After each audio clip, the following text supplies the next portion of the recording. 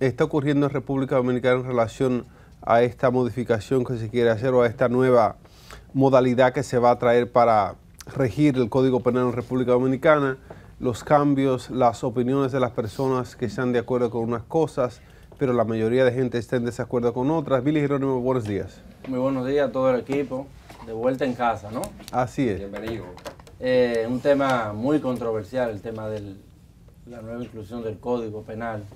Nosotros los auxiliares de la justicia, los abogados de ejercicio, eh, tenemos una necesidad grande de que haya una nueva, nuevas leyes, un código actualizado a los tiempos. Tenemos un código obsoleto, viejo, que no da, como decimos popularmente, pie con bola con las necesidades eh, procesales en justicia. Antes que nada, yo sé que Vargas tiene una lista, eh, Vargas te va a freír con preguntas y cosas. Me, pero me va a dar duro. Te va a dar duro. Pero antes de todo, Billy, una pregunta que me surge desde muy profundo. ¿Por qué hemos sido tan ineptos a la hora de armar, de concebir una propuesta de código penal que sí sea funcional, que sí sea aceptable al menos?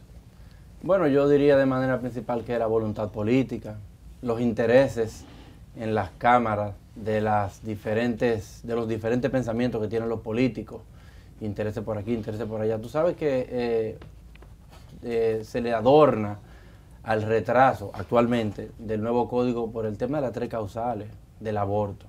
Pero hay unos puntos mucho más importantes que sí realmente retrasaron y que esto fue una especie de máscara del por qué no sale el nuevo código. y te puedo citar, por ejemplo, el tema de la corrupción administrativa. Hay una discusión fuerte en las cámaras de que no prescriba a los 20 años, como, se, como piden muchos eh, legisladores. Está el tema también de la discriminación. Eso fue un tema muy controversial dentro eh, de la discriminación, ya sea por religión, ya sea por política, ya sea por algún tipo de aspecto físico u orientación sexual. Esos sí realmente fueron los, los temas que chocaban entre los pensamientos de los legisladores, pero lo adornaron con el tema de, la, de las tres causales. Ayer escuchaba a la senadora Raful Faride que decía que bien por el tema de las tres causales había una minoría significativa que si bien se, necesitaba la voluntad de que pasara el código, pasaba, porque había una, minoría significativa que se oponía o que aprobaba las tres causales. Entonces, eh, claramente hay puntos más importantes, como decía Vargas Vila, que debemos prestar atención de que sí eh, eh, chocan los intereses de, de, los legisladores. Y sobre la base de eso, Billy, tú como parte de ese gremio que tiene que ver con la justicia, con la abogacía, ¿qué pueden ustedes hacer? ¿Qué puede la población hacer? O más bien usted, porque de ustedes que conocen las intríngulis del tema legal y de, la, de ese vacío de un código obsoleto. Explicar a la gente qué tan importante es y tal vez unir voces, porque tal vez tú solo vienes aquí y dices una cosa, pero no es suficiente. Pero el gremio como tal, ¿cómo puede usted explicar a la gente lo importante que es tener un código que funcione y que sea actual?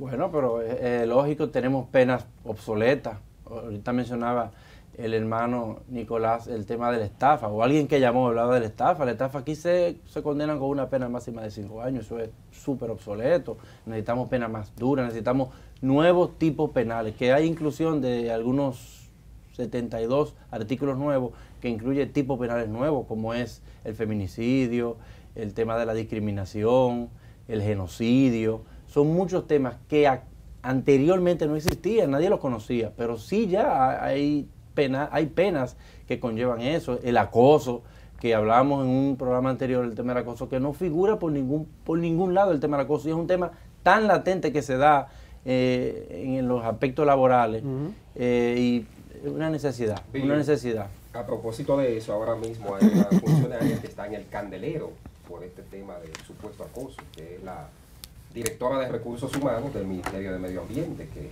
hay denuncias eh, por doquier de colaboradores y ex colaboradores de supuesto acoso eh, laboral, pero ese, es otro tema.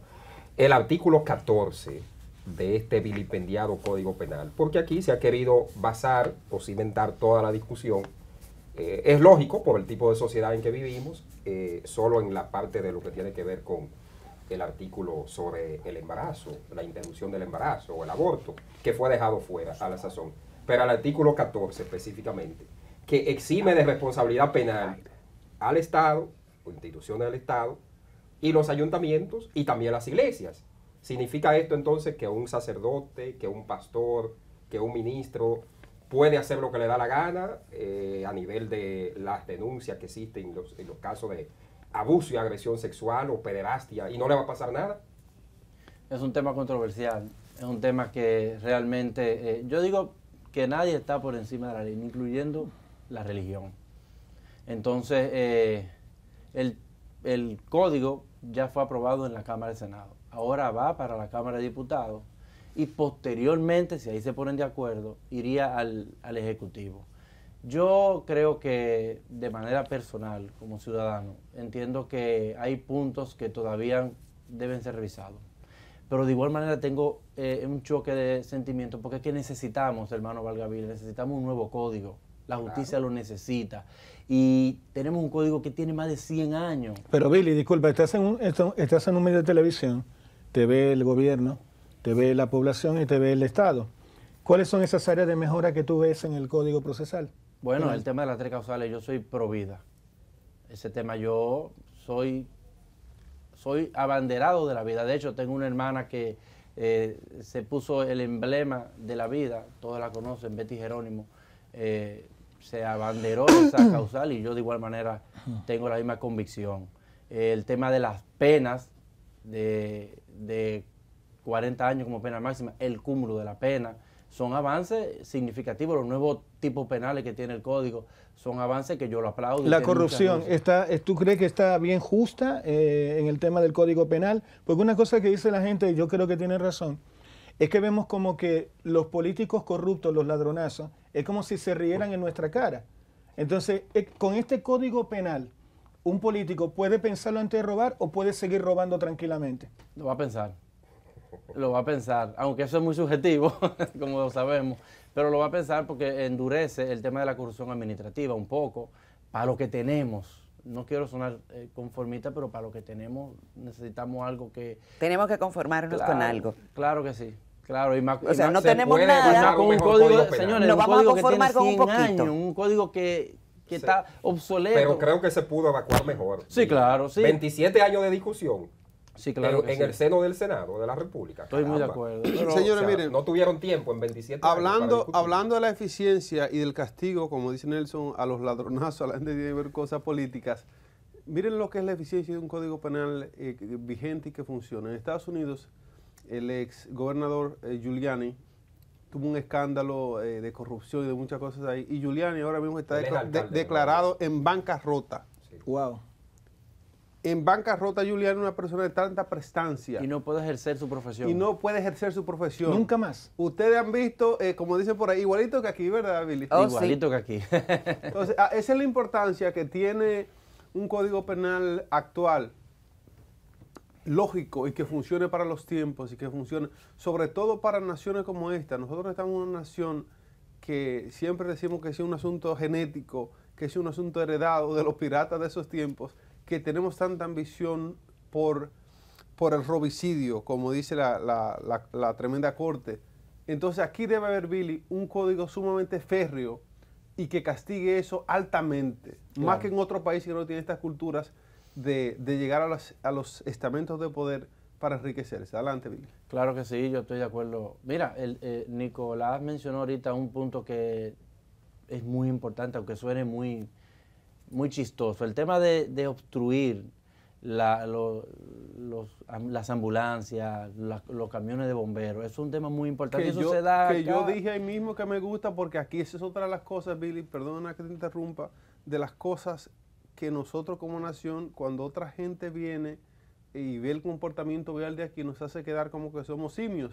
Claro, y que se está, ahí hay la vida de Que una somos gente salvajes en hay ese una sentido. gente en una ambulancia a, a punto de perder la vida y a nadie le importa y la gente se maneja, se mete delante o se mete detrás la persigue y no dan paso. Es parte de la importancia y la concientización ciudadana que debemos crear aquí. y una de las formas por la que se concientiza que es eficiente es por los bolsillos de la gente. Si aquí se le pone esa multa y, y se castiga altamente a la gente que obstruye el paso de los vehículos de emergencia o asuntos policiales, las cosas pueden cambiar. Adelante con esa parte. Sí, eso es, eso es como se dice popularmente, a palo entendemos. Cuando eh, nosotros pagamos los errores con una multa, entonces vamos a entender y no vamos a obstruir más este tipo de, de, ambulancia y, cosas. Pero yo entiendo que sí, el, código tiene muchas luces, eh, el código se necesita y tengo la fe de que el, se pondrán de acuerdo en la Cámara de Diputados y en el Ejecutivo lo van a... Mencionen algunas de esas luces, porque eh, solo hemos criticado lo que no nos conviene. Vamos a ver cuáles son las luces que Bueno, yo mencioné unas cuantas, los tipos penales nuevos, el feminicidio, el endurecimiento de las penas, el cúmulo de la pena. Aquí una persona puede cometer varios delitos y se, se calcula la máxima. Aquí va a haber un cúmulo de pena de hasta 60. Eso, quiero, eso quiero que lo diga, el tema del femicidio, porque todavía tenemos, perdón, caníbales que piensan que matar a una mujer pues le va a salir gratis. Por eso algunos cobardes incluso se suicidan después que la matan. ¿De cuánto estamos hablando que subió la pena para un asesino criminal de mujeres? De 20 a 30. De 20 a 30 años. ¿Tú lo encuentras mucho o poco? No, lo veo correcto, bien.